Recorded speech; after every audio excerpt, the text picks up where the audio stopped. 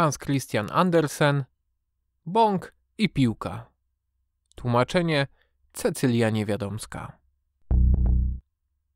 Bąk i piłka leżały w pudełku drewnianym z innymi zabawkami. Bąk rzekł do piłki. Czy nie zechciałabyś się ze mną ożenić, ponieważ i tak mieszkamy razem w tym pudełku?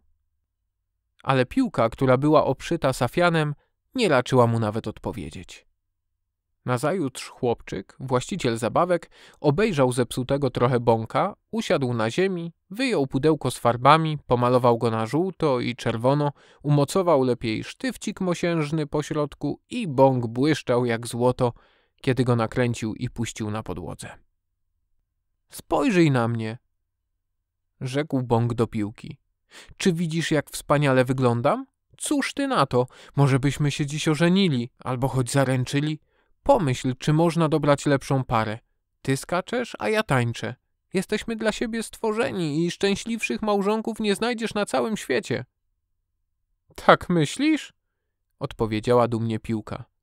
A czy wiesz, do kogo mówisz? Zrobiono mnie z safianowych pantofli pana radcy.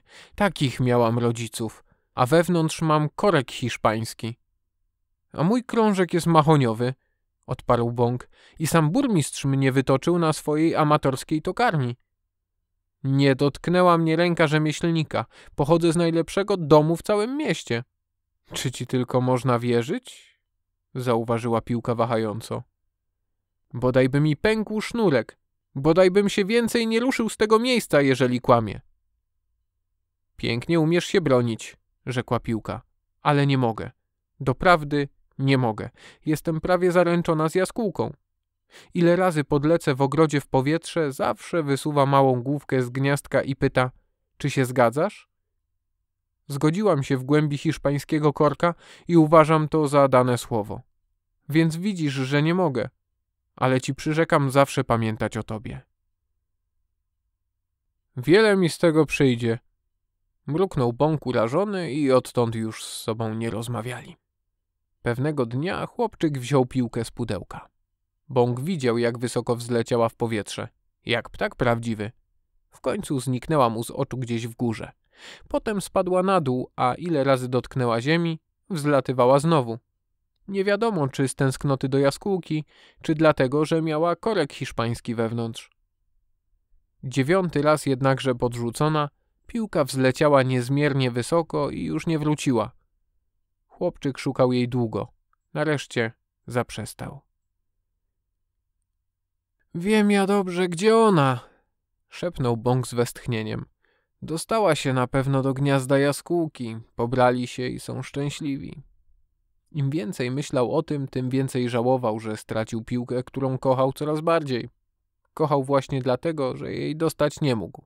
Pogardziła nim, taka lekka, taka piękna, z safianowych pantofli pana radcy. Zdrów był jednak z tą miłością i kręcił się szybko, ile razy puszczono go na mocnym sznurku. Tylko piłka w marzeniach wydawała mu się coraz piękniejsza. Kilka lat upłynęło mu w takiej tęsknocie. Zestarzał się. Wtedy pozłocono mu krążek i był znowu tak piękny, że trudno sobie wyobrazić. Tańczył wybornie, brzęczał głośno i wesoło. Wszyscy go podziwiali. Lecz raz sznurek się zerwał. Bąk podskoczył w górę i zniknął. Szukano go dokoła. Zaglądano nawet do piwnicy. Nadaremnie. Gdzież się schował?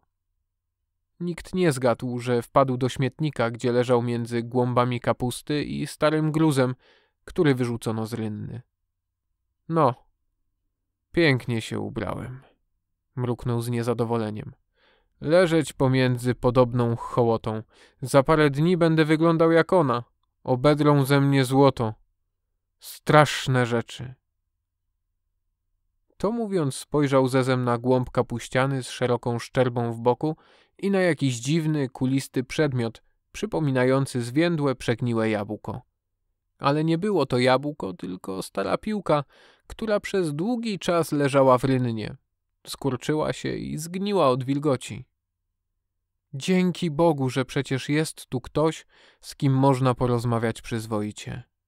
Rzekła piłka, przyjaźnie patrząc na złocony krążek. Jestem właściwie zrobiona z safianu. piękne rączki mnie szyły. Wewnątrz mam hiszpański korek, choć to dziś trudno poznać. Byłam niegdyś prawie zaręczona z jaskółką, ale wpadłam do rynny i przez pięć lat cierpiałam tam okropne męki. Pięć lat dla młodej piłki to bardzo długi czas. Bąk nic nie odpowiedział. Leżał teraz cichuteńko i myślał o swojej miłości. Tak, nie mógł wątpić, to ona, ta sama, jego ukochana piłka. Ale któż by ją poznał dzisiaj? Wtem służąca ze śmieciami przyszła do śmietnika i spostrzegła złocony krążek. Bąk, bąk się znalazł! Zawołała głośno i wyjęła go spośród niewłaściwego otoczenia. Na piłkę nie zwróciła najmniejszej uwagi, a co gorsza, Bąk wierny przestał odtąd myśleć o niej i nie wspominał nigdy o swojej miłości. Trudno być stałym, jeśli ukochana przeleży pięć lat w rynnie i cierpi tam ogromne męki. A do spotkania w śmietniku lepiej się nie przyznawać. Czytał oczywiście tata Mariusz, czyli Mariusz Rzepka. Jeśli podoba Ci się to, co robię, wpisz w Google krzyżyk Tata Mariusz i wybierz najwygodniejszą ścieżkę do pozostania na bieżąco. Ilisku, dzięki, że jesteś i do usłyszenia.